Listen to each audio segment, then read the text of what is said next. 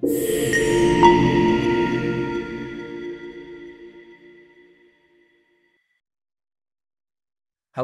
and welcome to another Edison TV executive interview. I'm Aaron Atkar, healthcare analyst here at Edison, and today we're joined by Antti Vuolanto, Chief Exec of Herantis Pharma. Today we're going to be digging into the company's phase 1b trial results, which marks an important step closer for lead asset HER096 towards disease modification for Parkinson's disease. So, welcome, Antti. Thank you. So, to get straight into it, could you outline for us the key takeaways from the phase 1b trial results? Yeah, so uh, phase 1b trial was the first one where we um, uh, treated um, Parkinson's patients with HER096, and uh, the results uh, overall were very much in line what we expected from the from the trial. So on the safety side, uh, as expected, we didn't see any uh, systemic uh, safety issues. Um, the main uh, issue related to the treatment was mild and and transient injection site um, uh, observations that is um, according to what we have seen already earlier in earlier studies. So uh, safety tolerability, uh, great results. Uh, then we also had uh, pharmacokinetics, and there, of course, the main objective was to um, understand better the behavior of HER96, especially in CNS, uh, as measuring from the cerebrospinal fluid and and again um, the behavior was very much uh, aligned with our expectations. So we were able to demonstrate that the maximum concentration of HER96 in CNS reaches the same levels that we have um, observed to be optimally optimal ones uh, in the in the preclinical studies uh, and that was um, a similar result for the total exposure. So so again very much aligned with our expectations and and really uh, supporting our uh, to move the program towards the uh, phase two efficacy trials. Fantastic. So we understand that more detailed biomarker data are anticipated before the end of the year. So what further insights can we expect from this? Yeah, on the biomarker side, um, the the main um, purpose is to demonstrate the the um, that we have been studied the biological response uh, to the uh, treatment. So um, studying from uh, both CSF and, and plasma uh, to show that we have affected target biology and we have, uh, in a way, initiated the cascade that hopefully eventually is, is uh, translated into um, clinical benefit.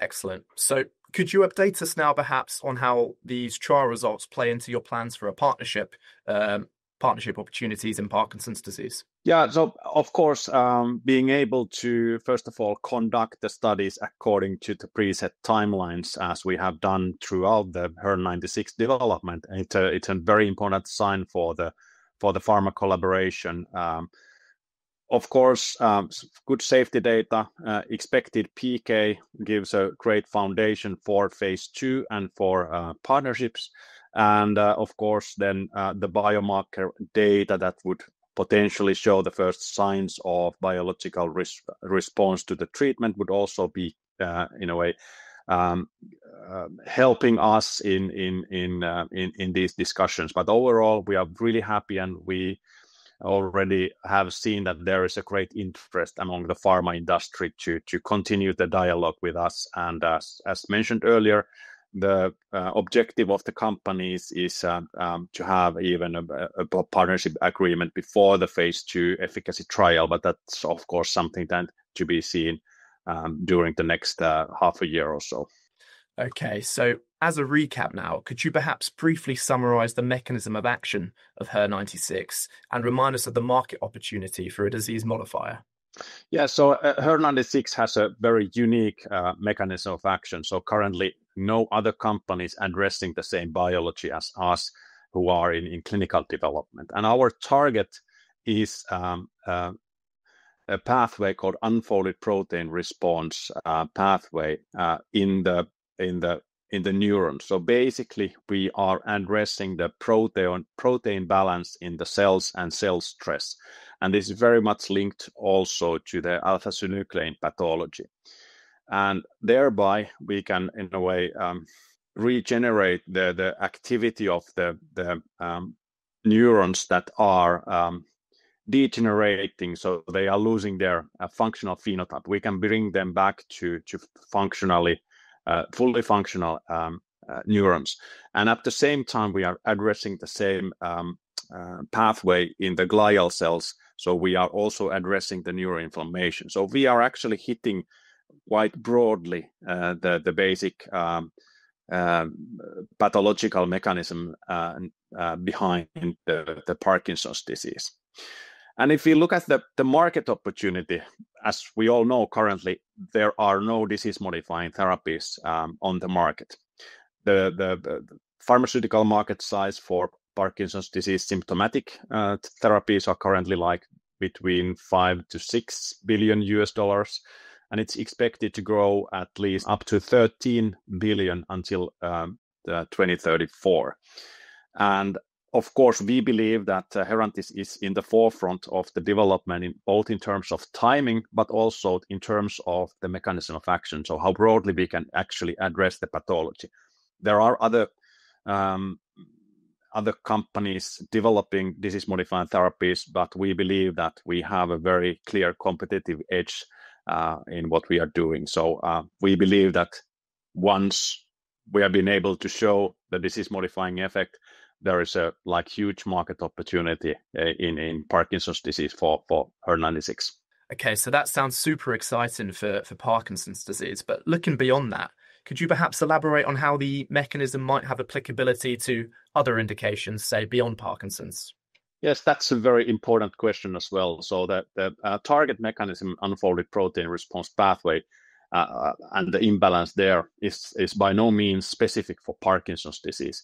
And this is actually shared with many other neurodegenerative diseases like ALS and Alzheimer's. And there is actually already um, scientific literature available for the uh, for the uh, CDNF, so the uh, neurotrophic factor uh, from which we derived HER096 in these indications.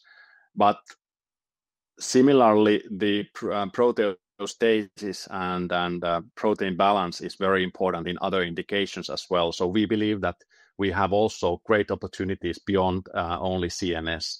And uh, we, of course, believe that once we have shown efficacy in, in Parkinson's disease, we can then really have resources to address these other indications, which might even be like bigger um, commercial opportunities than Parkinson's.